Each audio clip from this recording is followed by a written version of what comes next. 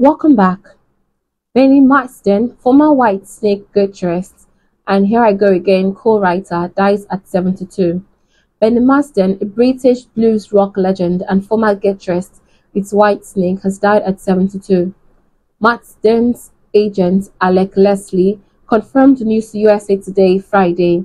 A statement on the musician's official website from his family stated Marsden died peacefully on Thursday evening with his wife, Fran, and daughters, Charlotte and Olivia, by his side. Bernie never lost his passion for music, writing and recording new songs until the end. Marsden was with British rock bands UFO and Paice, Ashton and Lord, before joining the newly formed Whitesnake in 1978.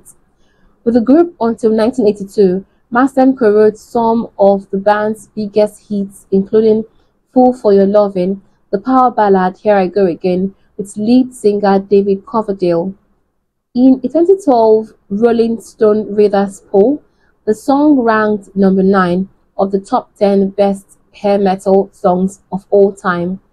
Coverdale paid tribute to his former bandmates in a post Friday on X, formerly known as Twitter.